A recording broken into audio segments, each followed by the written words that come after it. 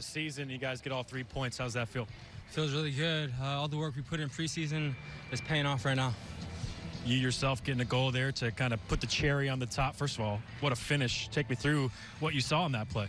Uh, first of all, congrats on all three goals. All three goal, goals were phenomenal. Alan fighting to get the header, Gadi uh, putting it near post upper V, and then Gerso doing the Maradona to set me up.